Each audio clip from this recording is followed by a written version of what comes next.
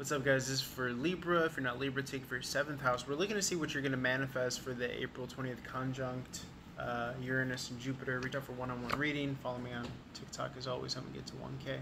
So this is endings, definite endings here. Could be a bad relationship that you're in. Uh, this is a definite sense of betrayal. This could be an ego death could be heavily specifically in regards to work. The Eight of Pentacles is that work energy.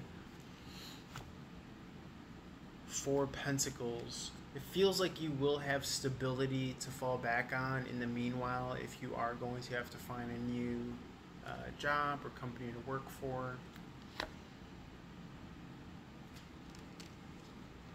You just want to remember to not get complacent weigh your options, okay? Cast a wide net. There will be a new offer coming to you soon. This seems very specific. I love the specific messages. Uh, reach out for more, guys. Let's see what Scorpio has to say.